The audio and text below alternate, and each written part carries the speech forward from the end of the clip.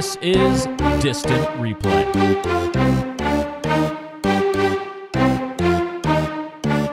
Today on Distant Replay, we are going back watching a documentary. It's called Screwball.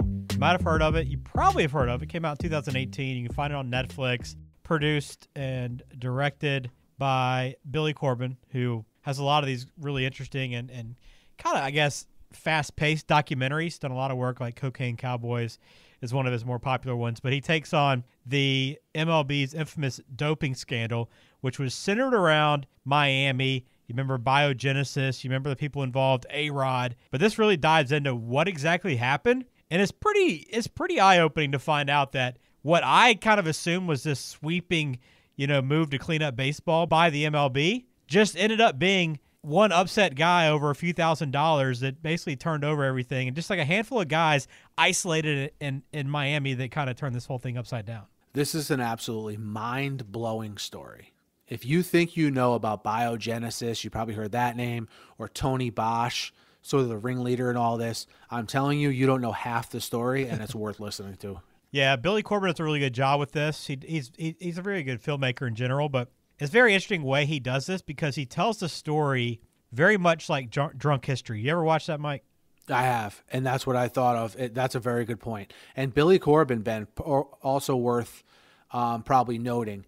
The documentaries he's most known for before this one are Cocaine Cowboys, like you mentioned, and he's also the one who did both the U the the U thirty for thirty episodes on ESPN. Right. Good point. So he's very much Miami documentary guy, pretty much, and he does an excellent job. Yeah. So when I say drunk history, if you never if you've seen it, you know what I'm talking about. But if you haven't, basically he's using characters to tell the story through the voices of the people that it happened with. So they had they interviewed everybody, but they had kids kind of dressed up and playing the parts of these nefarious characters in Miami. So you had you know little kids with slick back hair acting like you know gangsters, organized crime members. You got a guy dressed up like A Rod Porter Fischer, another big character, a very muscular guy. So it was very interesting and entertaining from that perspective. A very unique way to, to tell the story. And it worked. A lot of times when these documentarians try to get cute and portray a story in a unique way, it kind of overshadows what the story is actually about, but it fit perfectly in this case. And I guess because this the story is kind of silly, right? I mean, that's what you think of when you think of you know kids telling the story, but it is kind of silly the way it all happened.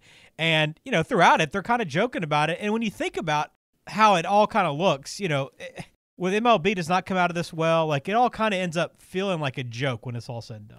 Uh, your guys are not, not going to believe the kinds of people that Alex Rodriguez, other professional players, and Major League Baseball were were in cahoots with during this scandal. You're just not going to believe the kinds of people they were associating with. It's mind blowing. And if it wasn't in a documentary, I don't know if I would believe it if you verbally told me about it. Yeah, no joke. And we'll go through it all on this episode. It's a really good one. Again, this is on Netflix. And we're gonna uh, we go through a number of documentaries. We do one a week. So if you haven't subscribed to the show, don't follow us. Please make sure you do on whatever podcasting app you choose to listen on. And we're on YouTube as well. We'll have this video up there, and we appreciate everybody that's subscribed, commented over there. We've uh, we've done a lot of stuff. Mike's been asking questions and taking polls, and getting a lot of good feedback on the YouTube channel. So please subscribe there. But you can also find us on Twitter and Instagram. Let's jump into this and this story, Screwball, all centers on Tony Bosch. Now, I mean, Tony Bosch is the name that I think everybody that pays attention to baseball and especially did during this era of the late 2000s, early 2010s when kind of all this was unfolding. Remember that name, right? Tony Bosch, and you remember Biogenesis. This is the guy. But I mean, did you have any idea of his backstory? Oh, no, no idea. So they basically went through here, Ben, about how he is a son of Cuban immigrants, right? His father was a licensed physician in South Florida. Tony grows up, right? Wants to be a doctor, little too caught up in being a party animal, not really too focused on school. So he takes the path of least resistance and goes to medical school in Belize, right? Yeah. Comes back to the States, sort of meddles around a little bit, and then wants to get into the anti-aging business in Florida, which we learn in this is like a huge business, right?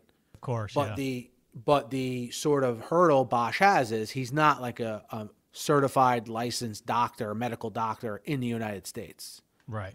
So in order to write prescriptions, he's got to get his dad and other doctors, including you find out a doctor who wasn't even alive, to write prescriptions for this hormone replacement therapy that he's putting regular people on at first he's not working with athletes. He's basically working with people in Florida who want to look good when they live in Florida. I don't know how to describe it. It's a very Miami, South Florida kind of thing. I have a feeling the anti-aging business, but huge business down there. It was, and it's crazy because it basically the business started at a bar. He was like sitting like I picture him, you know, a beachside bar, right, drinking some fruity drink with an umbrella. You know, scene you see out of pretty much every movie.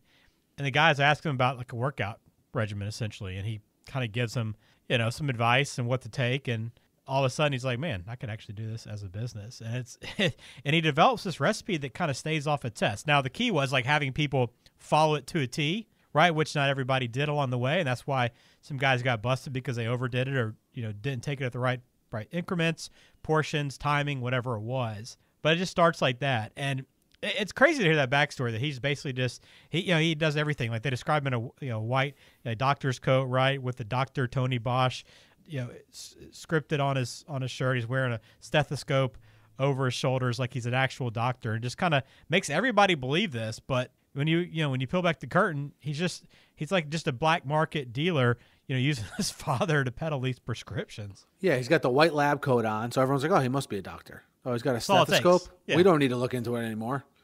you know, uh, it's just funny, and it's um, you know, he never planned to get involved with athletes, but the allure he saw in it once he got started was, you know, when I give someone my supplements that's a regular person, I can't really see like the results in action when I put on my television. Right. But with athletes, I could put them on a regimen and see, wow, look at this guy's performance enhancing because of what I did.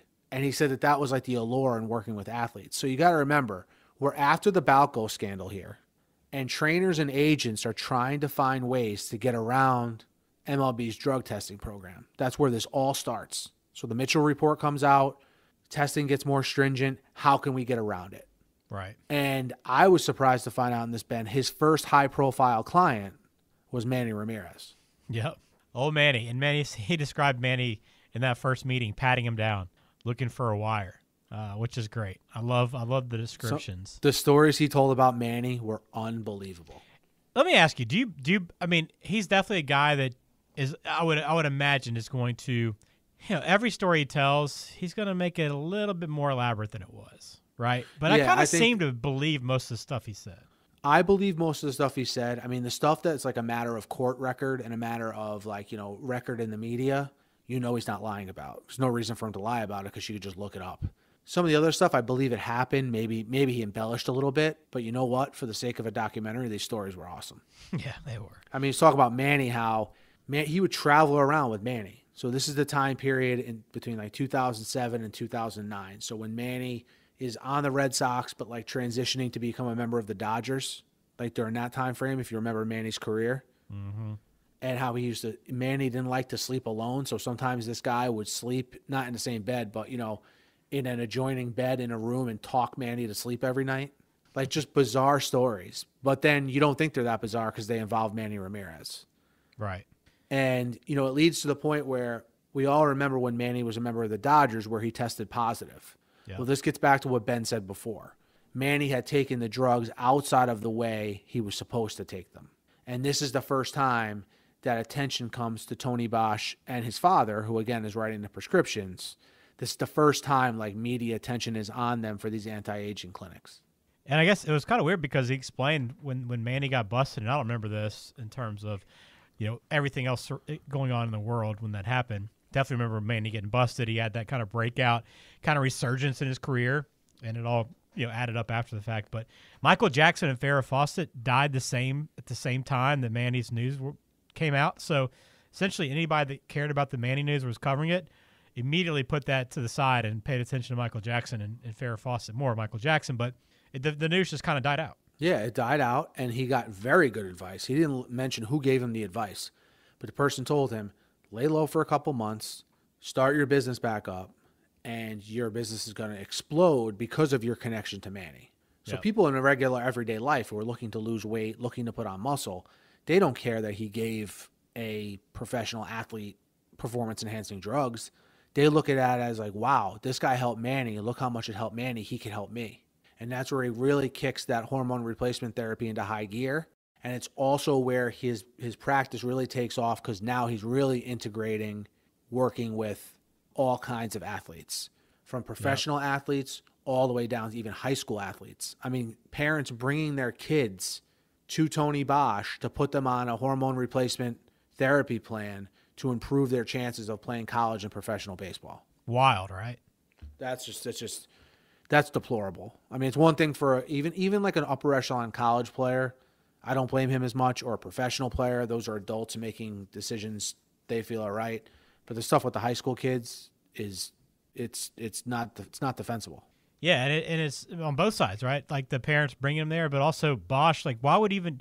I don't understand why you would even get in that business. To me, that opens a door that you don't want to go down. Like dealing with these professional athletes, you know, it's like guaranteed money, right? They're going to be quiet. They've got a lot on the line. They're not going to talk much, and that's a pretty solid business. Like, why even go down that road? Yeah, and you're getting cash from the players in most cases, which is another added benefit if you're doing mm-hmm. things in a shady way. And the only thing I could think of, Ben, is the high school players. There's more of them in numbers. You know what I mean? I guess. So maybe it's it's a volume play, or it's just someone who's so caught up in himself that he's not thinking clearly. Because one thing we learned throughout all of this is that Tony Bosch's personal habits become a major issue for him throughout drug use, alcohol, things of that nature. Yep.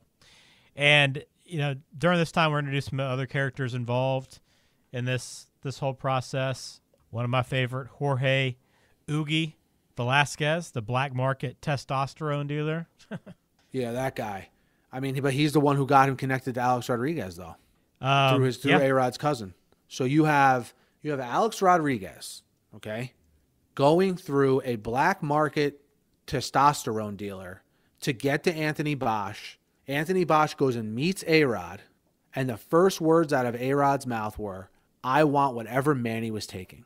Yeah, that's great. mind blowing that Alex Rodriguez would be associating with characters like this. I mean, I know. Look, I didn't think A Rod was a saint. I think A Rod's a phony. I think anyone who looks at things objectively thinks he's a phony. If you watch this documentary, he comes off uh, completely terrible in it. Yeah, But his the program works for him that Bosch puts him on. I mean, Bosch tell at seven days after starting the program, he hits three home runs, yeah. and A Rod's hooked from there. How, how how is A Rod? Why is A Rod going to this meeting on his own too? What why why is that happening? This guy, this guy, his his cousin Yuri, right? Basically, it's enough for A Rod for his cousin to just be like, "Hey, this guy's a good person. I'm going to bring him to meet you and talk about using performance enhancing drugs." How did they really know what this Anthony Bosch was all about? You know, and why would he be dealing? Why didn't he keep Bosch at at least an arm's length away? Yeah, why not have some kind of intermediary that can go and, and do, have these meetings and do everything he needs to? Like, there's I don't see any point why he's taking these meetings. Yeah, he he couldn't get someone else to like inject him. He had to have Bosch do it. And just some of the other stories he told about A Rod. Again, I don't know whether to believe all of them or not, if he's embellishing. But I mean, we've heard stories throughout the years about how strange A Rod is and how he's like very, very self absorbed. Yeah, So I believe some of them, but he described A Rod as just being extremely weird. Like A Rod walking around his apartment that's all white in New York, like everything's white, with TVs playing highlights of himself that he's watching all day. Dude, it doesn't get any weirder than that. A Rod, yeah, he, he's a weird character altogether. It, it just you hear some of these stories, and I think like these are the, some of the ones you're like, well, you know, maybe he's exaggerating and embellishing some of these stories. But then you think of like some of the stuff you've just you've seen A Rod do, right? You know, the picture in front of the mirror, like just some weird stuff that he's done, and you kind of go, yeah, I mean, I can kind of see that happening.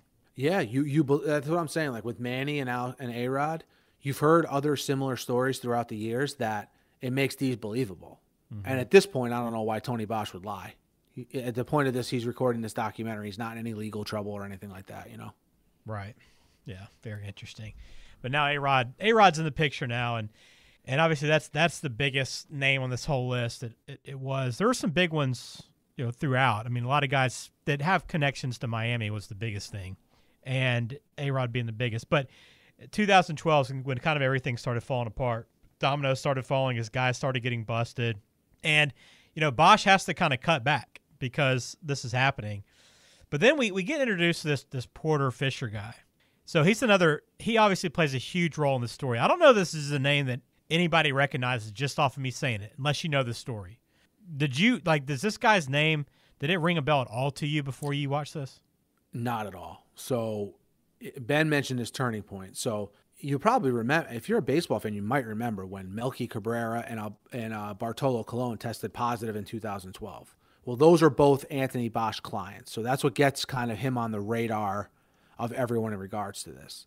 And like Ben said, he he's he's he cuts back his business, so then he's strapped for cash because he's living this exorbitant lifestyle with the drugs, the women, the alcohol, and he still has the same amount of staff, but he's doing less business, right? And he's running low on funds. And this guy, Porter Fischer, who's basically a guy, kind of a hanger on, kind of a guy that's maybe one of those guys that kind of lifts weights in really good shape. He's tan, but he's a little bit of a loser, kind of. I mean that in like a respectful way. like he's just a guy who always wants to be around. Like, oh man, like I want to be friends with you. I want to be involved in stuff. Like, just like not a very like what you would call like a cool guy, kind of like a latcher on type. Yeah. Well, Bosch looks at him as like the perfect person. Like, all right, I need a loan to float me for a little while. This guy Porter's always asking how he can get involved in my business. Here's a perfect way for him to do it. He asked this guy Porter, and this blows my mind, for a four thousand dollar loan for his business. Ben, can I just tell you something and tell our listeners something? if you are looking to invest in a business and someone says, Hey, I need a loan for my business and I need $4,000, don't even listen to the rest of the pitch and say no. Okay. That's any business flag, huh? investment, any business investment is going to be a lot more than $4,000. And as we find out with Porter Fischer, if $4,000 is a lot of money to you, you especially shouldn't be looking to invest in a business. He was like trying to. He, he just wanted to. He wanted to help them with marketing. He's like, well, I don't know why you guys aren't doing better. This this product's incredible that you're giving me. I want to. I want to be a spokesman. I'll do free marketing for you. And then and once they realized he came into some money, which he came into money by getting hit on a bicycle, riding a bike, gets hit, sues, gets some money, and now he has a little money. And that's when Bosch is like, oh, you got money. Okay, now I'll actually talk to you. How about you invest in the business? We'd love to make you an employee. And I love that the CFO was even like, hey, are you sure you want to do this? Like, ask him multiple times, are you sure you want to invest in this business? And he's like, yeah, 4000 I can get, you know, I can make what? What was he making? 20% return on that loan slash investment? Yeah, how Bosch told him is, oh, you give me four four thousand, I'll give you forty eight hundred at the end of the month, or something like that, or in two weeks, or something, something like. There's a million red flags here, but this guy Right. Porter, I'm telling you, like he wants to be a part of it. He wants to have friends. Like that's he's a sucker, you know. And let's just put it what it is. And he that's that's the allure for him.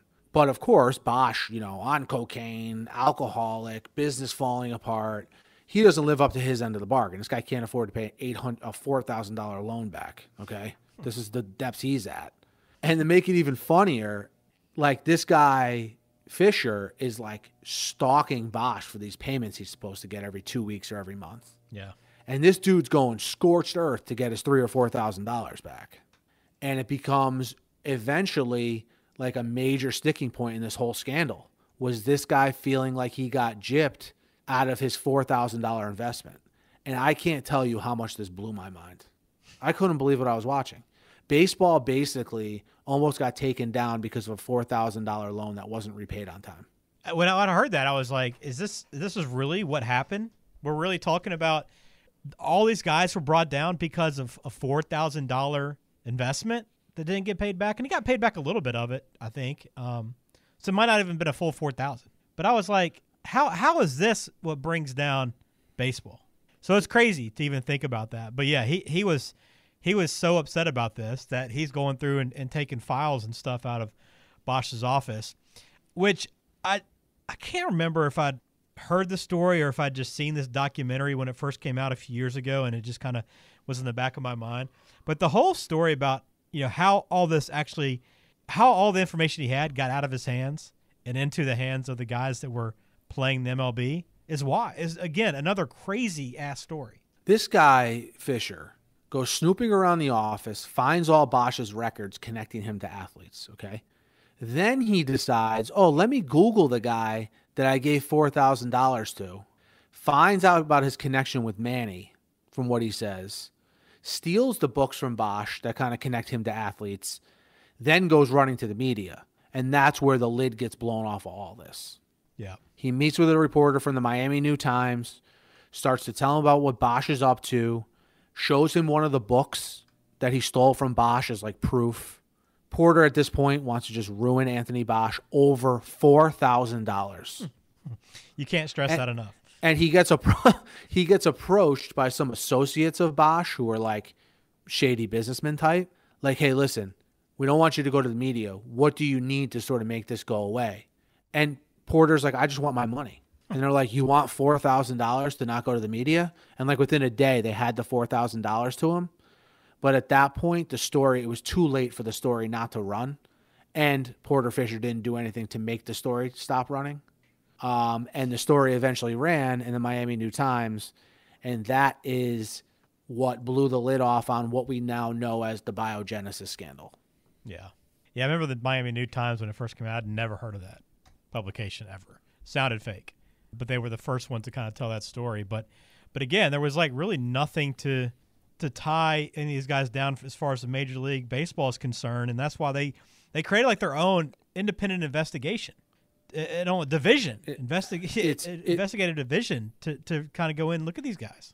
Yeah, so the article comes out, and what you don't know at the time is those books I was telling you that Porter Fischer stole. As a part of getting the $4,000 from the shady businessmen associated with Bosch, the Carbone brothers, they're called, and their associates, they gave the books to the Carbone. He gave the books to the Carbone brothers. So in exchange for the $4,000. The Carbone brothers then make a copy of them on a flash drive, sell the books to A Rod's people, okay? Sell the copy of the books to Major League Baseball. Major League Baseball tells them, hey, look, we'll give you this amount for the flash drive, but if we could have like hard copies of this stuff, we can give you more money. They set Porter Fischer up to steal the books out of his car and then they sell those to MLB. So these Carbone brothers end up making the most money of anyone involved. A Rod goes in full defense mode as we know now, once he's outed in this in this report. Okay. I didn't know, Ben. Did you know that he's the one who outed his people or the one who ones who outed Ryan Braun and Francisco Cervelli? Uh-uh. Like No. basically, A Rod's people want were like, hey, look, the more people that are involved in this, maybe A Rod won't bear the brunt of it. Ryan Braun, obviously a University of Miami player who was hooked up with Bosch, went on to the Brewers, obviously. But Cervelli was A Rod's teammate. Yeah. I mean, that's it's just such a tangled web. And when it comes down to it, Ben, this is all about it becomes all about Major League Baseball versus A Rod. Major League Baseball trying to save their reputation, A Rod trying to save his reputation, and just a bunch of collateral damage in between. But the worst part was like not only did, did both these high high profile, powerful figures in A Rod and baseball both get played by these these con men in Miami, selling the selling them the same documents. Like A Rod wanted to buy them so MLB couldn't get them, right? MLB wanted to buy them obviously so they had their hands on them, and they're selling them to both parties, right? And these guys are trying to investigate, and like nobody wants to speak to them. Like Porter Fischer has nothing to do with with the Major League Baseball investigators that are coming in trying to talk to him. This this one of the investigators sleeps with one of the people involved, one of the witnesses of this whole thing. Like the head, like one of the head guys in this investigation is sleeping with the witness. Then then this whole this whole story of the break in to steal these things from his car when he stops at a tanning bed. Stops a tanning bed to get his application and the guys in the tanning bed basically go out in the car and break his window and steal his stuff or have his have their buddy do it but they basically were on watch while it happened and he comes out of the tanning bed and his window's broken and of course they like break the other guy that works there's window to make it look like you know they're all innocent and they're all victims of this thing right when really they're the ones behind it. I mean it's just all so bizarre but i couldn't help but just being like how is mlb and a lot of this centers around rob manfred who's now the commissioner right who obviously has a pretty questionable reputation, especially with a lot of players um, over the last few years and since he's taken over. And you kind of see that he headed this thing up, and it's like, and this guy's had some issues, you know, dating back to even really, really before he even really knew who he was. And like his his main target in this investigation is to bring down A Rod. But now like A Rod is like the face of MLB analysts for like World Series coverage. Yeah. I- it's just so confusing to me. And obviously, we're leading down the path here when all this stuff becomes public. the, the battle between A Rod and the MLB leading to A Rod's like 211 game suspension, right? That's where this is all leading to. Yeah. And A Rod lying at every turn about what he did and what he didn't do, like just blatantly lying to everyone and for ruining his reputation forever. He'll never get in the Hall of Fame, I don't think. And just like, but now this guy is very, very closely associated with MLB. He almost he almost got ownership in a team Yeah. it- it's just such a, a tangled web. And you find out Rob Manfred, now the commissioner, is at the forefront of this whole hey, let's get as much as we can on A Rod so we can bury him. And in order to do that, again, we're going to associate with the low of the low in terms of criminals. Mm-hmm. It- It's just so mind blowing. That's also mind blowing too that you know Tony Bosch says he wasn't even approached by Major League Baseball to get information. Like he had to set up a, an interview with Pedro Gomez, rest in peace. Um, awesome guy, did a great job. Obviously has the Miami Cuban connections down there. But I guess they, he knew of they were kind of friends with the same school or something, whatever it was. But basically reached out to Pedro to set up that that really weird interview, bizarre interview that we saw on ESPN, where you know Bosch basically looks drunk, probably is drunk or on drugs, and doesn't really give a whole lot of information. It looks like Gomez just finds him on the street and kind of, you know, comes up to him and, and interviews him when it was all kind of set up to It was begin with. planned, yeah. they had hung out beforehand. You know what it looks like? You know when you take a shower and the shower just doesn't take, and you get out of the shower and you're still kind of sweating. You're like, why the hell am I sweating? That's what Tony Bosch looked like with his shirt all like half unbuttoned, sweating. So disheveled. Like with Pedro Gomez, who they painted as like his friend, Right. and it made it look like like he stopped him in the middle of the street. It was a bizarre scene. But what that interview does do is it lets MLB know, hey, Tony Bosch is willing to talk to you if you want to talk to him. So Yeah. Bosch is basically making the determination now.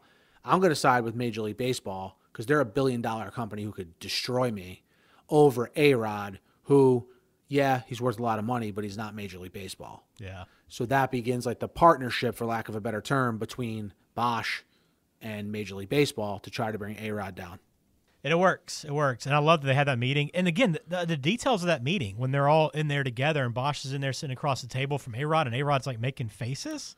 And what's more bizarre, that's bizarre, A Rod making faces at him. And then right from there, Ben, literally right Yeah. from that meeting, he goes to Mike Francesa's studio, who was like the big, at the time, the huge sports talk guy in New York, sits in studio and completely lies to Francesa about everything and Right. digs his hole even deeper. he goes right from the hearing right to the studio with Francesa, lies his face off some more, and he's just such a phony because Francesa has a lot of quirks and people may not like him, but he had A Rod's back at every turn during his entire time with the Yankees. Mm-hmm. And if you, I thought at the time, hey, if there's one person he's going to be honest with, it's going to be Francesa, but he just completely ruined everything that day.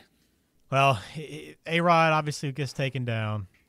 Then eventually Bosch does too, which they kind of update everybody's progress. But he eventually had to plead guilty, um, conspiracy to dis- distribute testosterone, which he never really kind of. It doesn't seem like he'd ever would have stopped, you know, if given the option. He ne- no, he never he never would have stopped it. And what eventually brings him down is what we talked about before is supplying the high schoolers. Yep. He gets four months for that in prison. Sorry, four years for that in prison. Serves twenty months of that sentence. And what a crazy story this was. And again, it only blew up because that guy Fischer, Porter Fischer, felt like he got screwed out of four thousand dollars. Porter Fischer now, founder and CEO of the Porter Project, which is a nonprofit working to abolish the illegal use and distribution of the uh, performance enhancing drugs. Say, Porter, no one cares, buddy. I mean, seriously. God, just get some friends and like move on with your life. Porter Fischer fires you up. I love it. What I mean, This like I, even on your honestly, I didn't know whether to have him. I know exactly. I didn't know whether to feel really bad for the guy or think like, look, this guy's just a loser. I didn't. I didn't even know. I'm still kind of confused by that. I feel bad for him. I mean, but yeah, uh, I feel mean, bad for him in some ways, but some ways it's like now he's trying to capitalize off it. You know what I mean? Yeah, I don't know.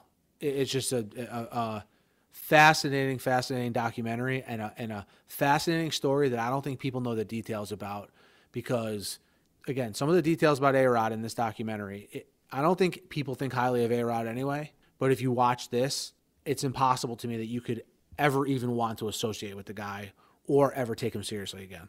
Because he's cleaned up his image, it seems like, over the last four or five in years. the public, but he's a phony. Yeah. That's what phonies do. Yeah.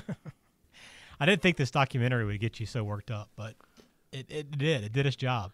But You it's a good in one. In the end, Ben, I could make it sound like I don't care about steroids. I don't care who does steroids, but I love baseball. You know what I mean? yeah.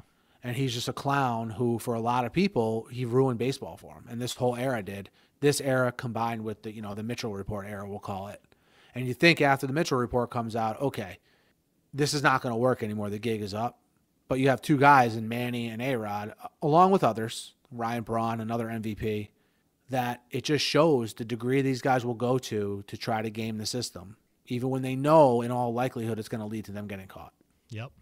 Well, this documentary, I, again, I'm surprised it hasn't gotten more attention. And maybe it did when it came out, and maybe just people are over the whole steroids era. They don't really care. It's a really good documentary, and it's it's worth your time if you're at all interested in that that time in Major League Baseball because it does have quite a few details that I wasn't aware of, and really does a good job breaking down the story and how everything unfolded. So And you know what's nuts is this Billy Corben, Ben. This is this is an excellent documentary, and it's probably the fourth most documentary he's known for. yeah, probably. You know what I mean? He might even have more documentaries that I'm not aware of that are better, even just better than this too. But the Cocaine Cowboys is one of the best documentaries I've ever, I've ever seen. Period. Mm-hmm. It's not about sports, but and then the U, both parts of that. You know, if you don't know that story, which I think most sports fans would know, but that's mind blowing as well. The rise of Miami football, and uh, just so so so fantastically done. Yeah, he did a good one too on um, another thirty for thirty called "Broke," which was on NBA, play, NBA players. I, I can't believe I forgot that one. Being that was broke, yeah. that was awesome as well. That we'll put that one on our list. I know that we'll do that one at some point, but um, yeah, really interesting, really interesting uh, documentary, and would highly recommend it. Again, you can find it on Netflix. It is called Screwball, and uh, it's it's an easy watch. It's about an hour and a half, but definitely. Where would you what, would- what would you give this one, Mike? Uh, we don't really re- rate these things very much, but maybe we should. Start Let's just say uh, it's probably as good as it can get. Could it have been 15 or 20 minutes shorter? Probably. yeah. We'll get. I'll give it a nine out of 10. Yeah, I think you could you could boil it down to hour hour fifteen probably, but still, We should do Billy Corben month. we should just do all Billy Corben documentaries. I'm down. He's got a lot of good stuff. that He does. He we- does. We'd really enjoy if we went all the way through it. Um, so yeah, put that on the list. All right, got to get out of here. Please subscribe to the show. If you don't do that already on YouTube, follow us on whatever podcasting app you choose to listen on. You'll find us everywhere, and follow us on Twitter and Instagram as well. As always, Mike enjoyed the conversation. Same here, Ben. Rate, subscribe, like, anything positive you can do. We appreciate. And until next time.